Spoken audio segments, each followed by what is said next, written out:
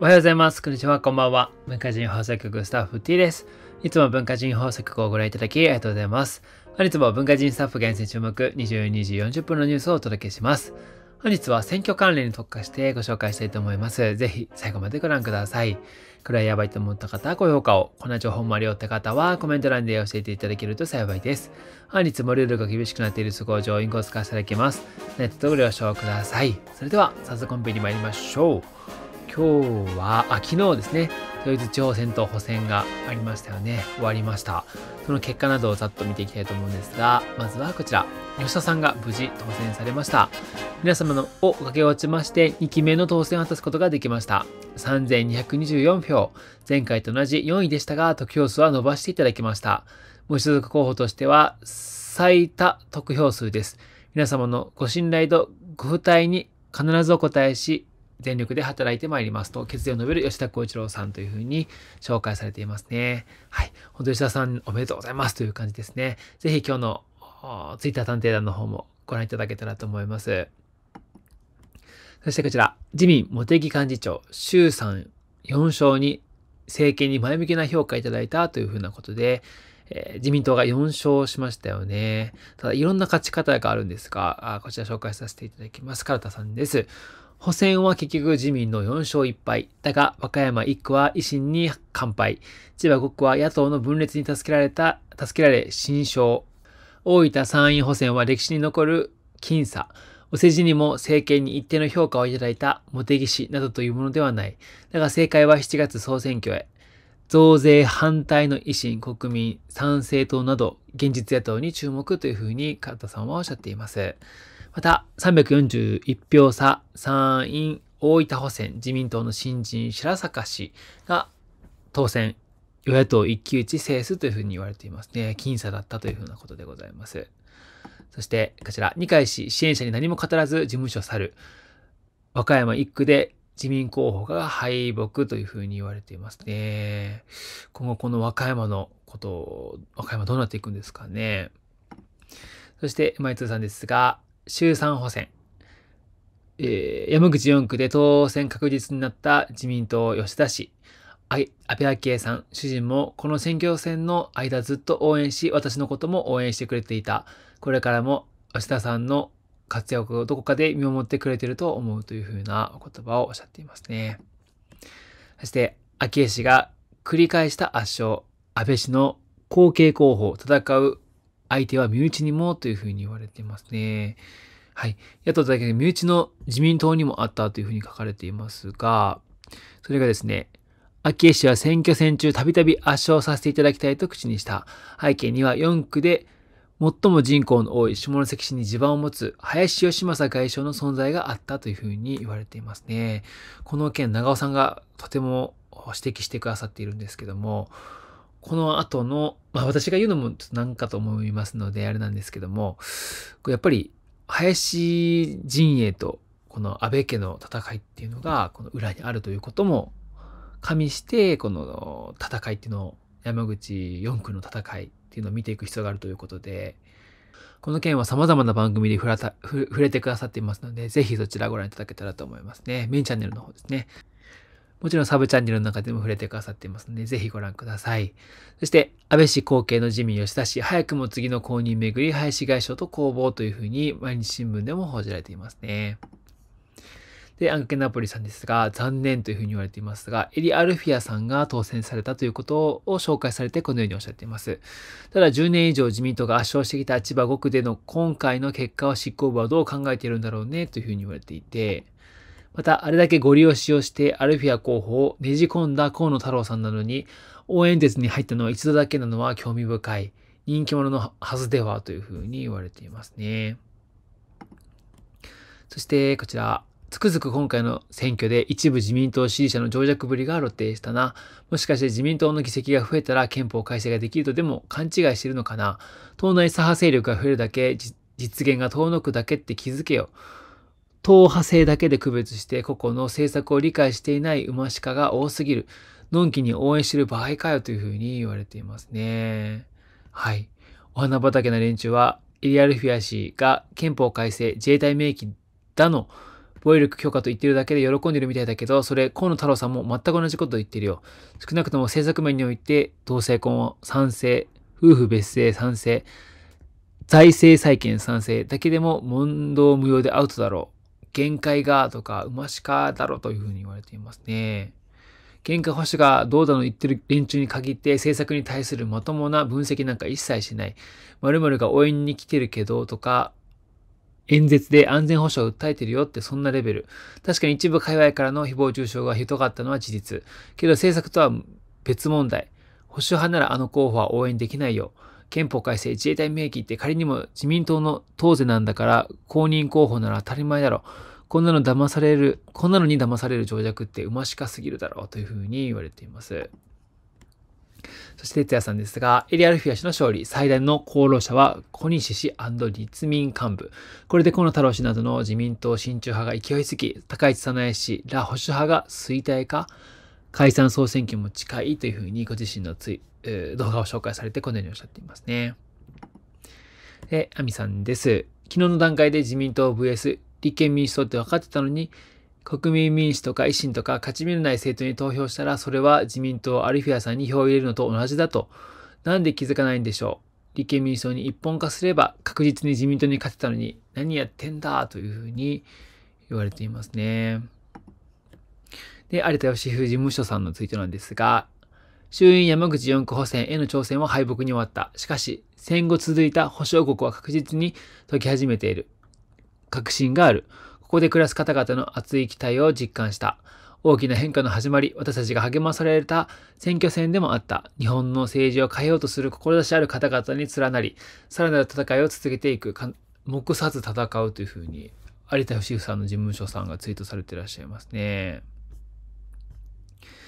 で、有田義夫さんご自身のツイートですが、私たちの山口4高選での息高い挑戦を敗北しました。支援してくれた有権者、全国の支援者にお礼とお詫びを申し上げます。しかし、初日から最終日まで外戦者周辺に起きた有権者の熱狂も事実です。こんなにワクワクした選挙は初めてでした。面白かったというふうに言われていますね。そして有田義夫さんの敗戦の弁を無慈悲にも途中でぷっつり切って安倍昭恵さんのインタビューに切り替わる。ネットの反応、どうでもいい小物扱い笑。有田義夫さん、爪痕を残せた、わらわらわらというふうに、こう、ネットの反応ではこのように書かれていますね。ビースターさん、これ紹介されてるんですよね。有田義さんの配線の弁を途中でぷっつり切って、アビゲキアさんのインタビューに優先していく無慈悲さに、お茶吹いたというふうに言われています。この、こちらの動画ぜひご覧ください、一度。そしてこちら、立憲民主党全敗に岡田幹事長。与党が勝ったとはいえ接戦だったよねということは言っておきたい。ネットの反応、何十年とも持ってきた大分県を捉えたなら、大敗と言ってもいいと思うよ。うん、次の衆院選でボロ負けの結果が出るだろうな、というふうにも言われています。そしてこちら、立憲民主党泉代表。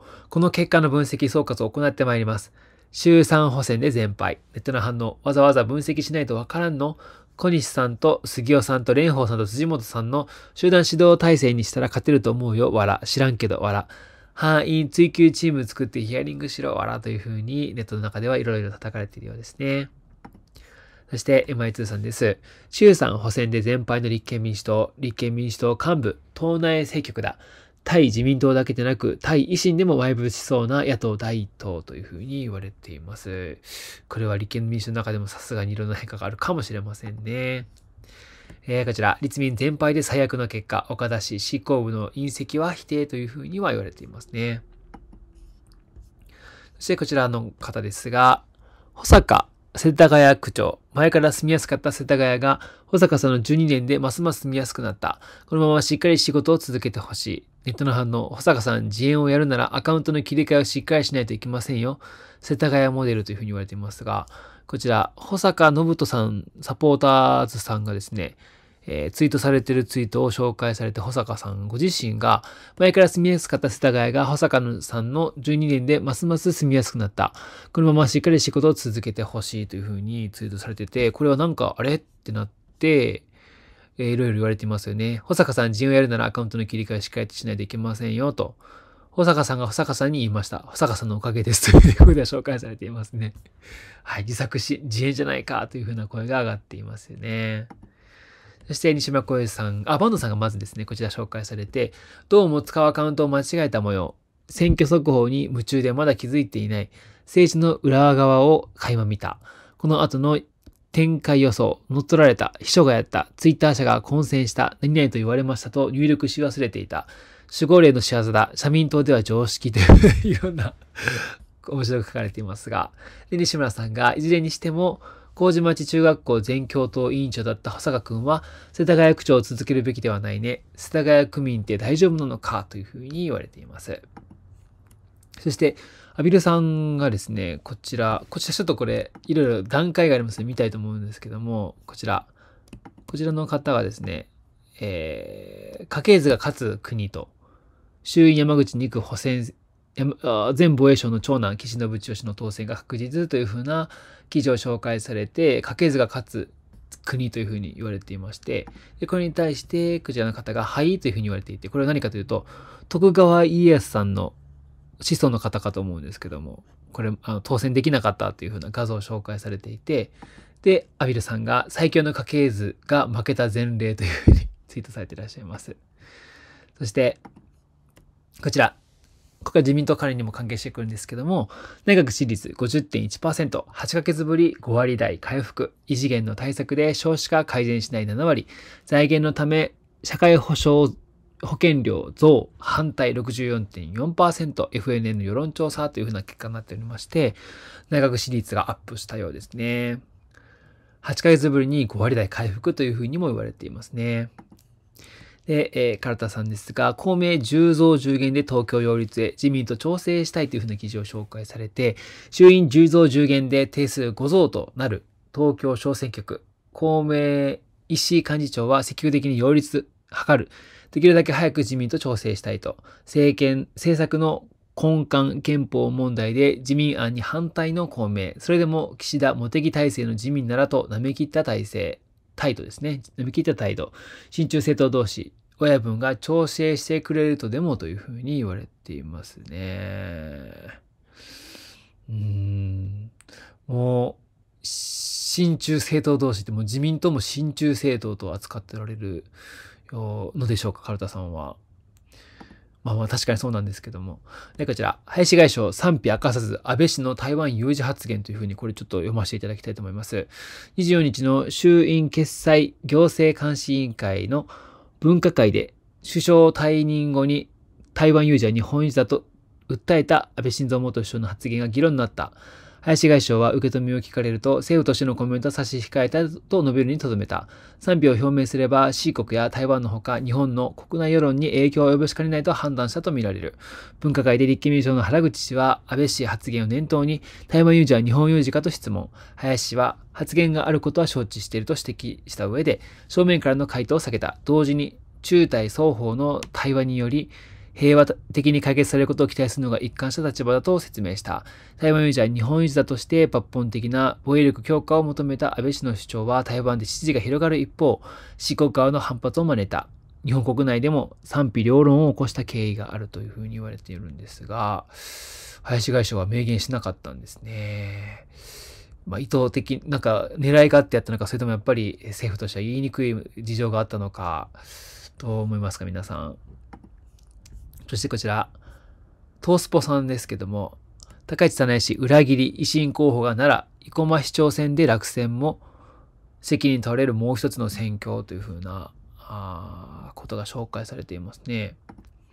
で、高市早苗氏、唯一応援に入った地元の町長選で敗北、やばくね、知事選に続く連敗には心配もということで、えー、マスコミさんが高市さんを叩いているようですね。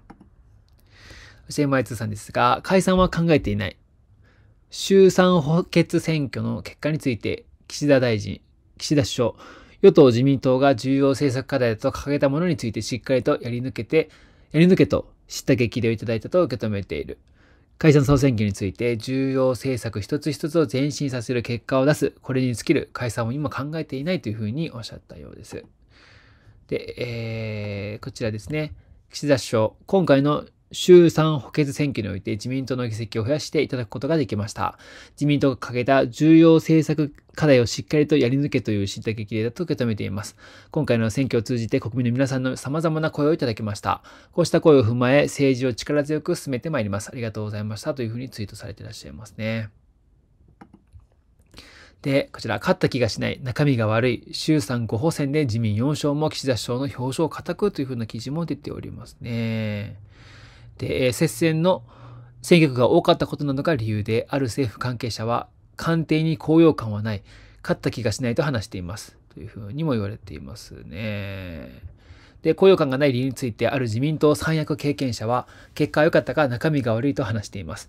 自民党内では5月の広島サミットの後に岸田省が解散総選挙に踏み切るのではという声が出ていますが、出ていましたが、ある岸田省側近がこんな接戦が多いとすぐに解散を打つのは厳しいとブレーキを踏む声が出ています。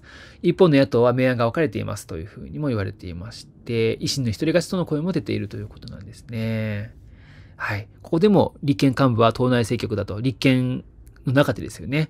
泉代表の責任論に発展するという見方を示していますが、泉代表は続投する考えですということなんですね。まあ、非常に解散総選挙を打つ可能性が高いというふうに言われていますが、この記事の中では、あちょっと難しいんではないかというふうな声も紹介されていますね。で、マイツーさんですが、こんなに接戦が多いとすぐに解散するのは厳しいというふうにも言われています。で、自民、茂木幹事長、政権に前向きな評価と総括。衆院解散は総理の専権事項というふうに濁し取られるようですね。で、自民4勝強まる早期解散論、6月が焦点というふうに、6月が焦点というふうに言われています。省が6月21日に会期末を迎える今国会中に解散に踏み切るのが焦点になるというふうに紹介されていますね。はい、どうなるんでしょうか。5月19日から21日の先進7カ国 G7 広島サミットで首相の露出が増え、支持率はさらに上向く。自民党内ではこうした期待感から会期末、会期末間際の6月解 ,6 月解散論も出ているというふうなことでございますね。続きまして、こちら。渡辺哲也さんです。解散総選挙、やるなら、やるやらないに関わらず、夏には内閣改造と党人事、茂木さん、河野さんがどうするかですね。党三役と大臣である限り、来年の総裁選に出られない。辞退すれば総裁選に出る資格が出てくるが、岸田さんには敵になるというふうに言われています。そして、これで6月解散、7月選挙が現実味を帯びてきましたね。岸田さん、会見を掲げて選挙をする度胸があるのか、勝てば長期政権が誕生するでしょうとのことでございます。はい。いろんな声が紹介、いろんな声が出ていましたので紹介させていただきましたが、皆さんどう思われますでしょうか？今後の展望など皆さんの予想がありましたら、ぜひコメント欄で教えていただけましたら幸いでございます。というわけで、ここから先はメンバーシップとプレミアムメンバーシップ両方の皆さん向けてのコンテンツとなります。ここから先は一般公開で扱いにくいの情報も扱いたいと思っております。続きは動画概要欄からご視聴ください。一般詳細もここまでです。ありがとうございました。というわけで、他にもたくさん紹介したいんですが、本日は以上です。本日も22時から長尾さん、明日さんの Twitter 探偵団アーカイブが残っておりますので、ぜひそちらもご覧いただけたら幸いでございます。というわけで、本日もありがとうございました。それではまた。通信最後はやっぱり癒し系動画で終わりたいと思います。本日はこちら。抱っこ待ちの子猫を放置されてしまうということで見てみましょう。